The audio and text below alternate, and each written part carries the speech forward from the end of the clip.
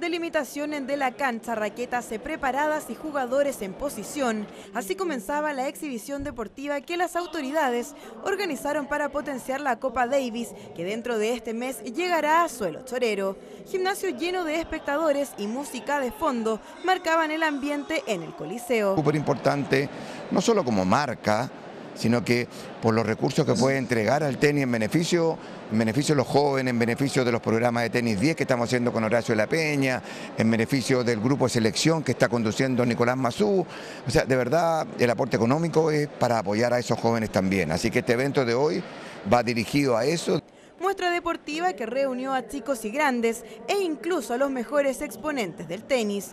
Una muestra deportiva que permitió dar a conocer el talento y cualidades dentro de la cancha de arcilla una oportunidad para potenciar el deporte en la región y posicionar a Talcahuano como el puerto principal del tenis.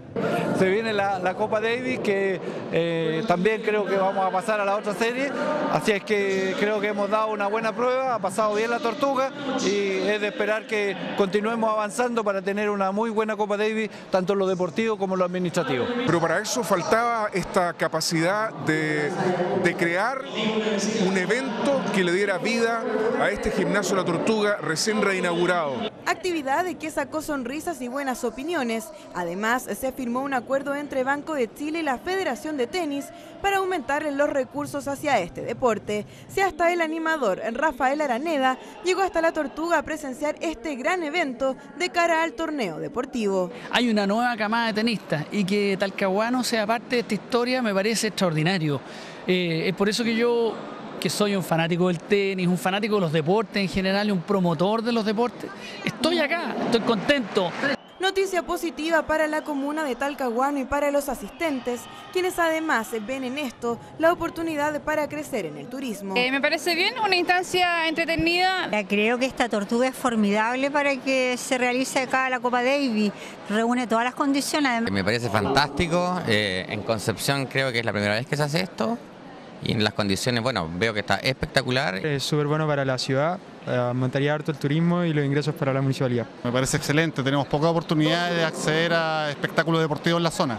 Los seleccionados chilenos se enfrentarán al equipo mexicano entre el 17 y 19 de julio por la zona 2 americana. Nicolás Mazú adelantó lo que se viene ante el país azteca.